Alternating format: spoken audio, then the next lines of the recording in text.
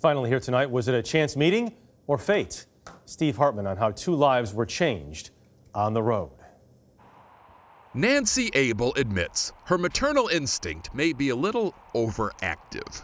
At least that was her excuse for nagging a young hiker she met along the Pacific Crest Trail in Washington state a couple weeks ago.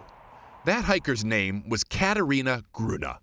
And all Katharina did was mention to Nancy her plan to continue hiking alone up to the Canadian border.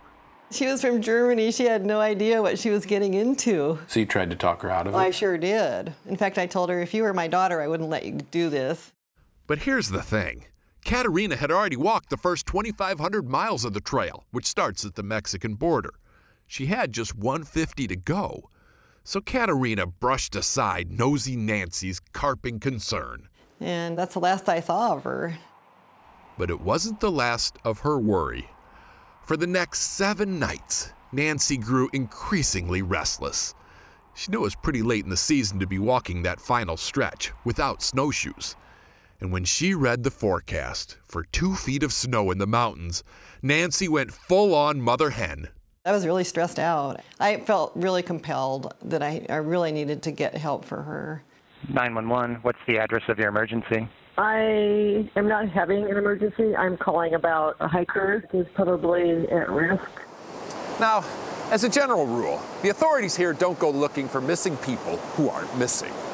This hiker hadn't put out a distress call, hadn't even missed a checkpoint. And yet somehow Nancy convinced them that her hunch was an educated one. So they went searching. The Snohomish County Sheriff's Department scoured the mountain where Nancy suggested. And that's when they spotted her, frostbit, with maybe a day to live. She was soaking wet and had no way to make a fire. The rescue crew says Nancy saved Katharina's life. Definitely. Yeah, without a doubt. Definitely. Without a doubt. I'll think of her as a hero for the rest of my life. I'd say it's a miracle. Needless to say, Nancy is sleeping much better now. Okay, I get that. She invited Katharina to stay with her for a few days before her flight back to Germany. And as for Katharina, she says Nancy rescued her in more ways than one. Someone cared. She says the whole reason she did this hike alone was because she'd given up on people. I lost faith in humanity. You got that faith back in a big way. Yeah, in a really big way. Come to America. Need faith restored? Come to America. Okay. Or just find your nearest mom. Steve Hartman, on the road in Snohomish County, Washington.